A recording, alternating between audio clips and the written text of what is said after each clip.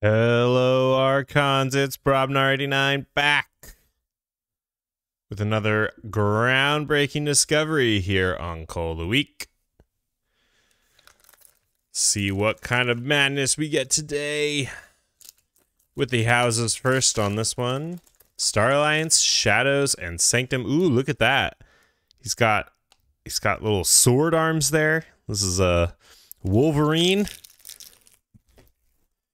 Getting a little X-Men deck in here.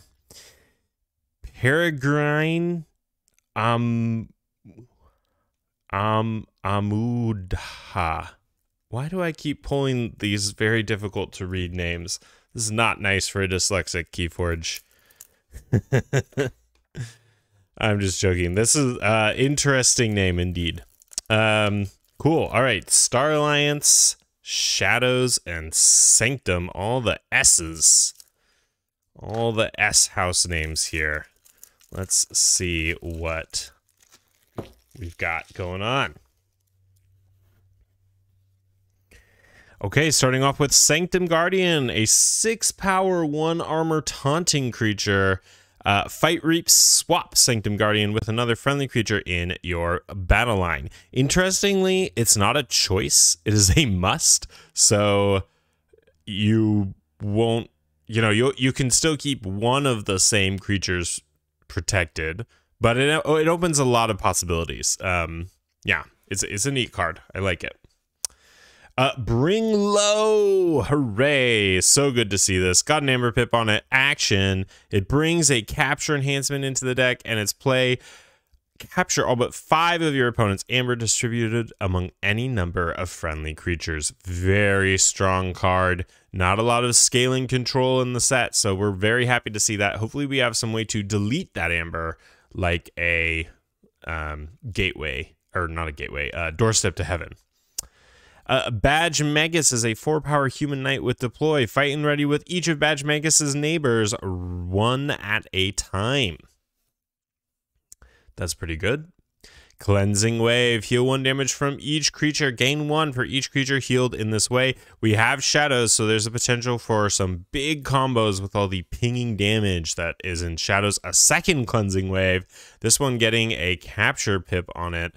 Um, yes, this could be big if we have the right cards in uh, shadows or in Sanctum. There's a um, a card that does three damage to all flank or all non-flank creatures. So if we have that, that could be really good.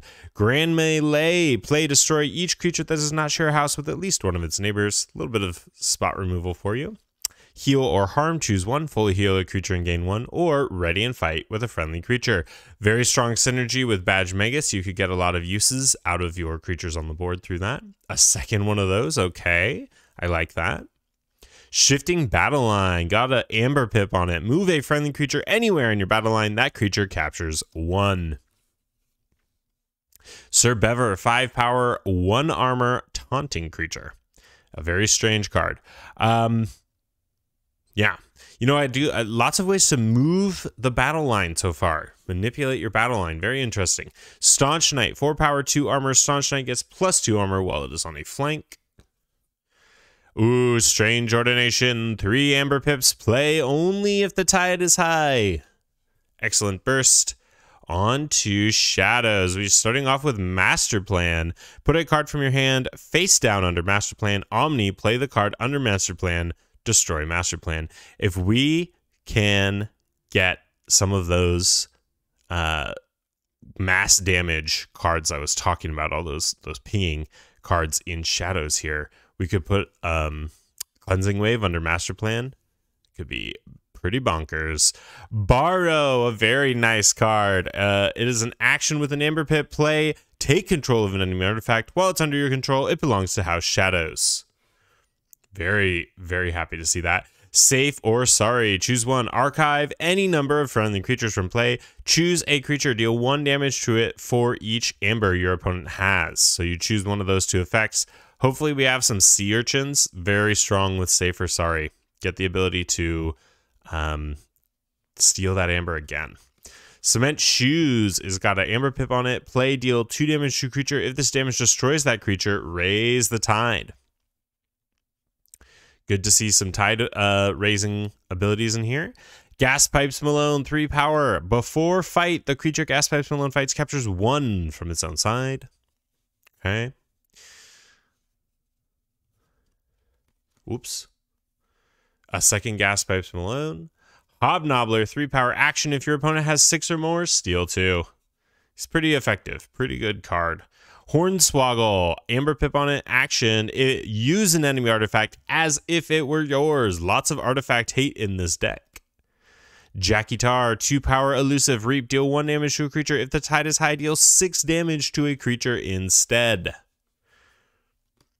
Loot or pillage. Play, choose one, steal one, or a friendly capture a friendly creature captures 3. A second loot or pillage. A third loot or pillage. Wow. I mean, steal 3 is is not bad. Um just straight up stealing like i guess i guess that's pretty good or you know you can get a stop in a pinch with the with the capturing um unfortunately we don't see any of those mass damage cards i was talking about uh we do have a, a decent bit of stealing safe or sorry uh, how many creatures do we have in here three four four creatures um safe or sorry not a lot of great targets for safe or Sorry so far. Hopefully we see something in Star Alliance that's gonna that's gonna work out for us there. But yeah. Hmm. Hmm. Interesting. Uh, on to Star Alliance, we've got the Plasma Nozzle. This deal, this creature gains before fight deal two damage to the attacked creature with two damage splash. Uh, so cleansing wave could get some value off of that. Um, that's not that's not too bad. CXO Taber, very nice. A three power alien Crix fight slash reap. You may play or use a non-Star Alliance card this turn. Very strong card. Xeno training action for the remainder. Uh, play for each house represented among friendly creatures. A friendly creature captures one. Good little bit of amber control there. Diplomat Agung, two power, play fight reap. For the remainder of the turn, a friendly creature belong, belongs to the house of your choice in addition to its other houses. Okay. Second one of those. Wow. So lots of house cheating, but I mean, we just don't have a lot of creatures here. So a little disappointing. I mean, yeah, like there's just there's just not a ton of creatures to use with the diplomat.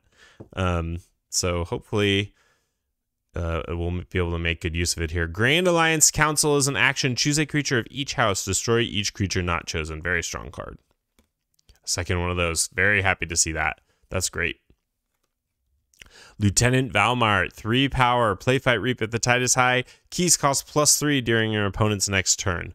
You might scoop this up with Safe or Sorry if you're in the right situation. It might it might be worthwhile to to have him uh, hidden away in your archive so you can increase the key cost again on a future turn.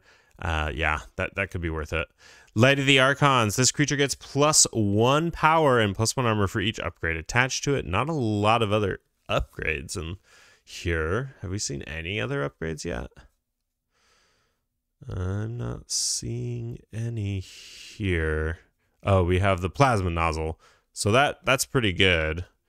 Uh, you could definitely put that on like the the Sanctum Guardian or the Badgemagus and get some get some value out of that.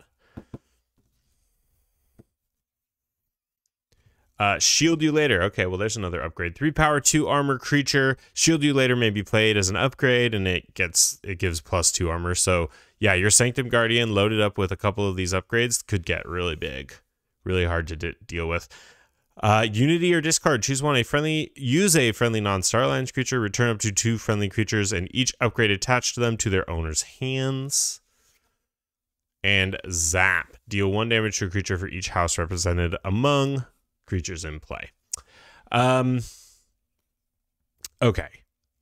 Interesting deck. My concern is there's a lot of house cheating in here and just not a lot of creatures. So like your diplomats are not going to do much. Um, Taber is still va- valuable because you he can play from hand, But the diplomats, I'm a little worried about uh, having that much house cheating with so few uh, creatures in the deck, and and yeah, and and Badgemagus too. Badgemagus is also you know has some potential for house cheating, uh, but there's just not a lot of cards in the deck, so I, I don't know. Um, let's count Amber Pips to start. One, two, three, four. Um, we can count these as pips. Five, six, seven, because you're almost always going to be able to steal with that. 8, 9, 10, 11, 12, 13, 14, 15, 16. So decent, decent pips. Um, Zap goes okay with Cleansing Wave, not great. You can kind of just spread the damage out, and then, you know, with the Master Plan, you potentially could trigger it right away. It's, uh, you know, I mean, maximum, absolute maximum of six amber off of one, which is, you know, good if you can get six amber, but if you can burst for like three with it, I mean, that's fine, I suppose. Um, yeah, the let's look at the creatures one, two, three, four, five, six, seven, eight, nine, ten, eleven. 10, 11, 12, 13 creatures. So, yeah, I guess it's not super, super low, but it's definitely not a lot. And a, five of them are in Star Alliance. So, the, all that house cheating is kind of um, a little less exciting than it might be otherwise. Um, Badgemagus has some good things to go next to it, like the the Sanctum Guardian and the Staunch Knight could be pretty strong, and it should be easy for you to set it up with the ability to move creatures around your battle line. Let's look at the Amber control in here. We have Valmart, Xeno Training, three, four, five, six, seven, eight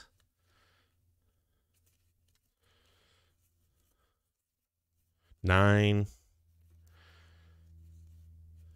ten. Um, one of them being bringing low. So that's actually pretty good. Um, yeah, I mean, a lot of this is capture, but there is some stealing. There's no scaling stealing, but we do have the scaling capture, which can stop your opponent for at least a turn. Uh, and some some big creatures that could could capture it and keep it a little bit safe. Uh, and then board control is looking pretty good. Two Grand Alliance Councils, Plasma Nozzle, three cards, four spot removal there, five. Probably going to use this for damaging most of the time because there's not a lot you want to scoop up. So six. Grand Melee, seven. Yeah, pretty good pretty good board control, so I'm not too worried about that. So I guess what you want to do with this deck is probably play from the hand a lot. Uh, you're not going to be playing into your board too much. You're going to try to get to cards like Strange Ordination um, and uh, your Bring Low to get off value. Uh, Master Plan can help you set up the cleansing wave. You are not going to want to hold the cleansing wave because there's not a ton of efficiency here and it's not going to be worth going board often. I mean, if you can have if you have a big board and you can keep going into Star Alliance and like keep these creatures safe behind taunt and just keep uh, getting big house cheating turns out of Star Alliance, that's great. But I just feel like it's going to be a little bit hard to get there with the few number of creatures in the deck. So, uh, interesting deck. I'll have to try it out and see how it does work. Peregrine Amu Amuda Amud. I, I'm not sure. Um, anyway, I've been Brobnar89. You have been watching Cold Week. Another groundbreaking discovery. I will catch you next time.